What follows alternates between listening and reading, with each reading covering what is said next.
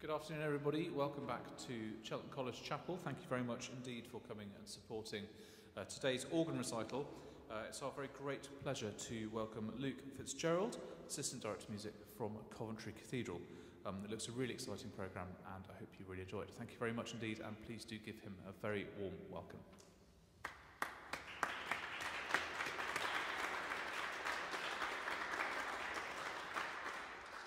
Thank you very much, ladies and gentlemen. Thank you for coming to support this recital. Uh, it's a real pleasure to come and play here on this fabulous instrument. I'll just say a few words at the start about the programme you're going to hear. Um, the first three pieces, in my mind, come as a bit of a, as a set in this programme, um, with a Bach prelude and fugue flanked by two chaconnes um, from rather different periods in time. So we start with Buxtehude's chaconne in D minor, um, there are various theories about the structure of this piece. Buxtehude was quite interested in number play, as Bach was as well. And uh, there is a couple of interesting theories about this particular chaconne, that it might be based on the phases of the moon. So it falls into four sections, um, which have the numbers 7, 4, and 28 sort of woven through the structure of each section. Um, and I've taken that sort of line of argument. So the piece starts with the new moon, fairly furtive, it sort of waxes towards the center of the piece with the climax coming in the third of the four quarters, and then towards the end of the piece, it sort of starts to fade off into the distance. Then I play uh, Bach's Prelude and Fugue in A minor, and then we have another interpretation of the chaconne form by a much later composer and little known um, composer, Herman Strategier, who was a, a Dutch organist and composer. So that sort of fo forms the first half of the program. And then in the second half, uh, the mood gets somewhat lighter uh, with two of Frank Bridge's organ pieces. He was the composition teacher of Benjamin Britten. Then a really beautiful tone poem by uh, Karg Elert, one of his three impressions, um, and then finishing off with Pièce d'Orgue by Bach.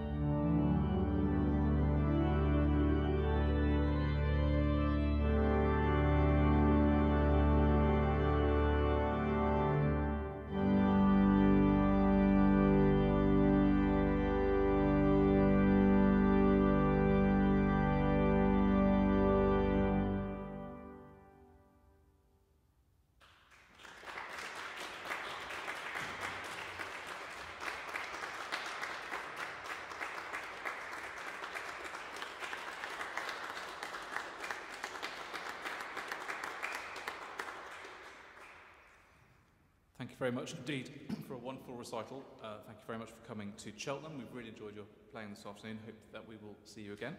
Uh, ladies and gentlemen, um, do please join us next uh, month on Tuesday, the 4th of April at 1.15 pm, where the recitalist will be our very own Alexander Finch, playing music by Holst and Elgar. Thank you very much for your support this afternoon. If you're able to give generously to the donation um, tray on the way out, that would be most warmly received. Thank you very much. And one final round of applause today for Luke. Thank you very much.